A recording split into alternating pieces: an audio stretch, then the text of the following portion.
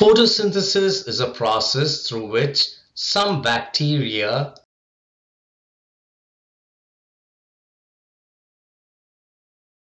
plant-like protists and plants use sunlight to combine carbon dioxide and water to form glucose and oxygen. In plant cells, photosynthesis takes place in a double membrane organelle called chloroplast.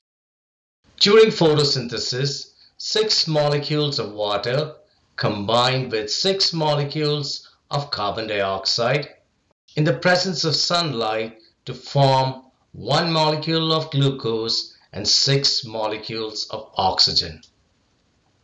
In plants, roots absorb water and transport them through the veins to the leaves where they are distributed to all the cells.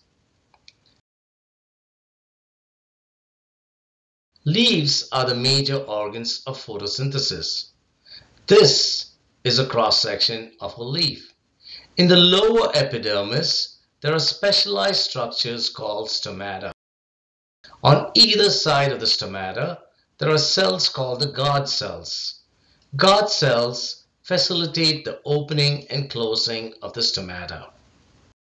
Carbon dioxide enters the leaf through the stomata and is distributed to all the cells.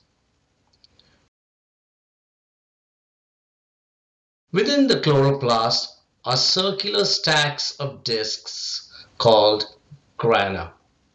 Grana act as solar cells and absorb the light energy radiated from the sun. This energy is used through a series of complex reactions to combine carbon dioxide and water to form glucose and oxygen. Oxygen which is a waste product in this reaction, exits the leaf through the stomata. The glucose produced is converted to chemical energy called adenosine triphosphate in the mitochondria. If you need to know how glucose is converted to adenosine triphosphate in the mitochondria, watch the video on cellular respiration.